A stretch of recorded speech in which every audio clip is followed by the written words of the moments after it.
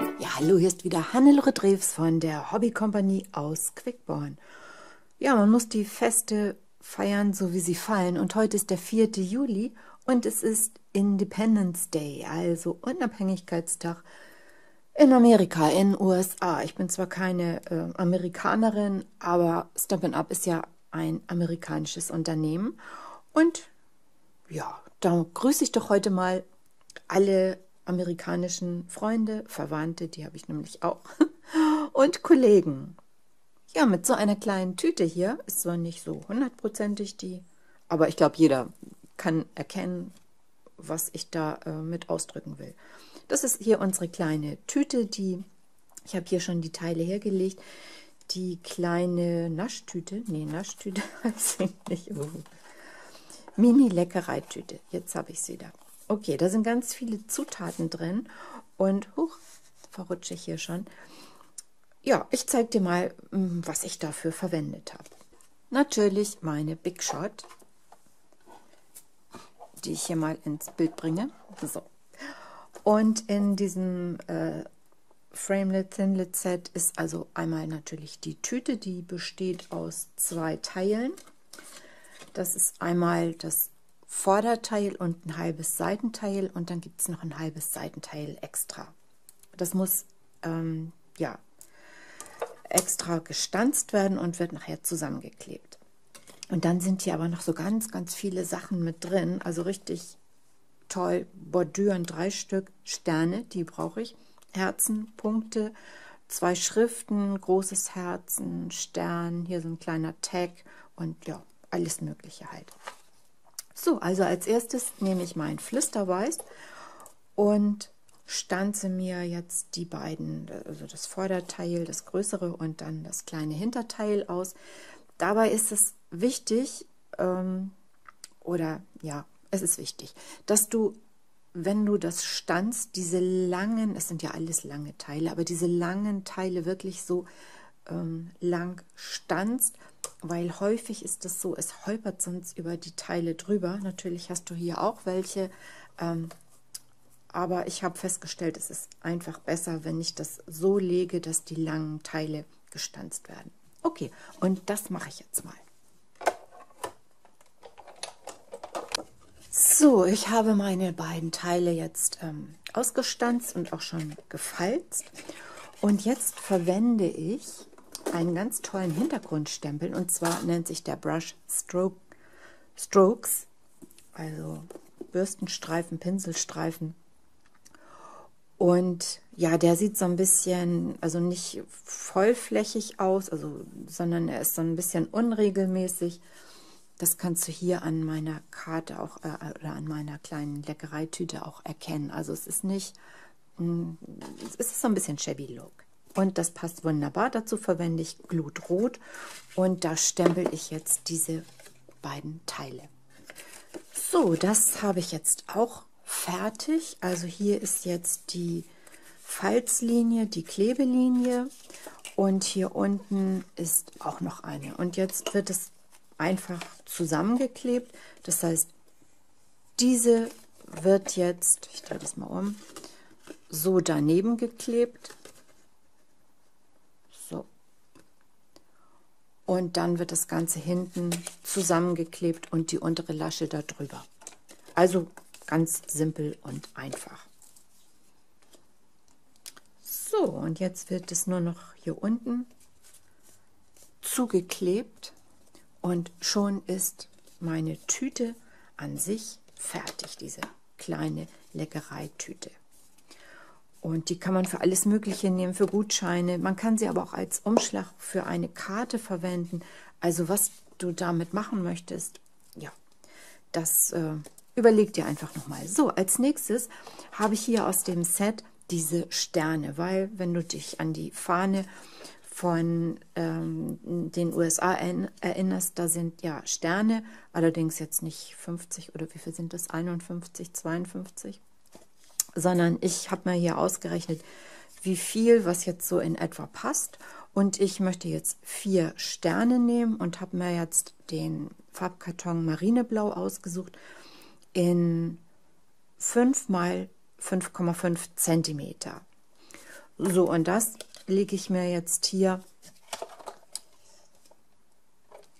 wieder auf meine Big Shot. So, in der Breite, dann nehme ich jetzt auch mal so und lege das so an, dass es oben ja fast abschließt und ich muss aufpassen, dass ich hier diesen letzten Stern, dass ich den nicht mit Abstands, weil das habe ich bei dem anderen schon gemacht, also so ein bisschen ähm, darauf achten, dass es so passt. So, und jetzt stanzen.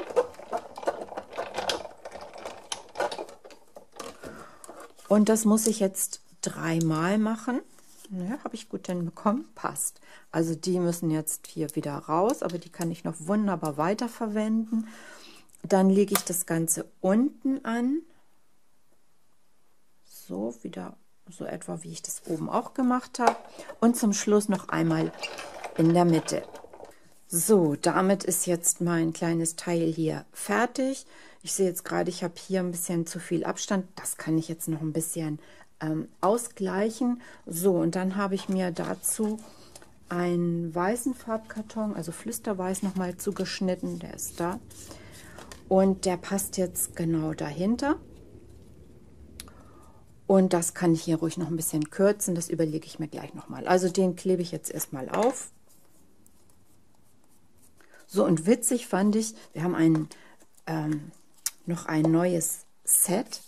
Das nennt sich kurz gefasst. Das ist dieses hier mit ganz vielen kleinen Sachen da drin, mit Kreisen, mit, ach, ich weiß nicht, ganz vielen Hallo, Glückwunsch, goldig, Träume, großer Tag. Also was dir dazu auch wirklich einfällt. Also ganz süß finde ich das. Da habe ich jetzt gestempelt, das habe ich schon mal vorbereitet.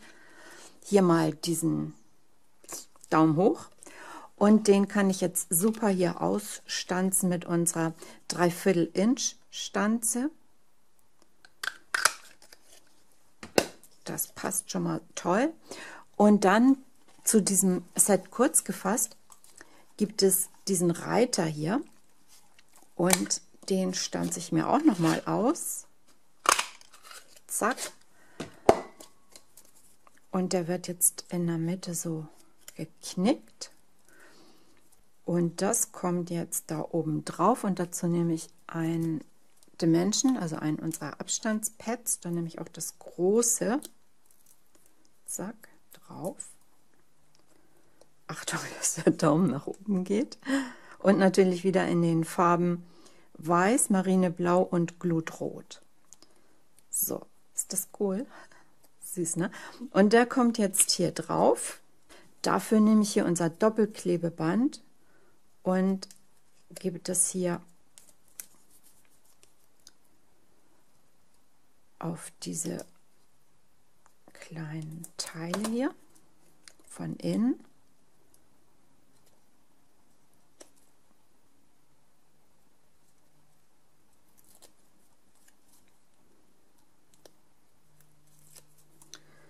So.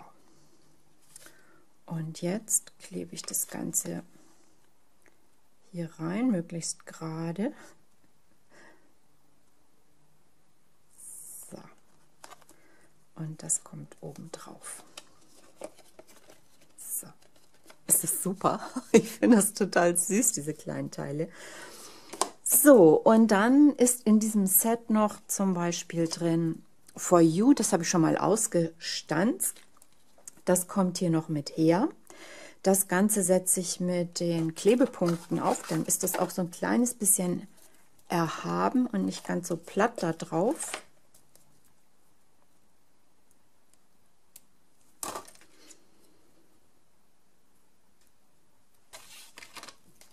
Die nehme ich auch in Marineblau.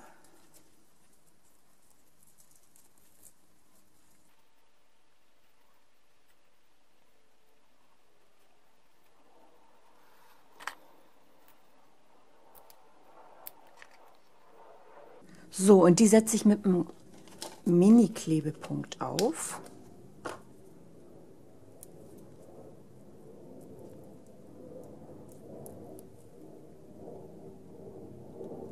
So.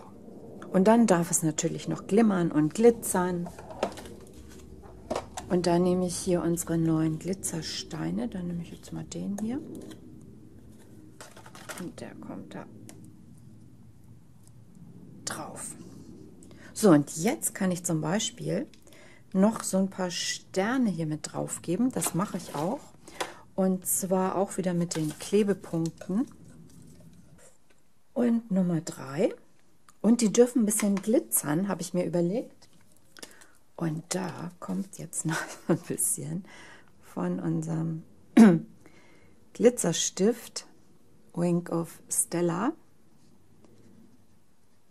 So, und wenn ich dann schon dabei war, musste das natürlich auch noch beglittert werden. Bei der ähm, Stempelfarbe ein bisschen aufpassen, weil die wird ja leicht angelöst und dann verschmiert das, also schön vorsichtig. So, und ist das eine coole Karte oder ein Umschlag oder eine äh, Verpackung für Naschi, was du auch immer möchtest. Ja, das war's zum Independence Day. und ich sag Tschüss aus Quickborn.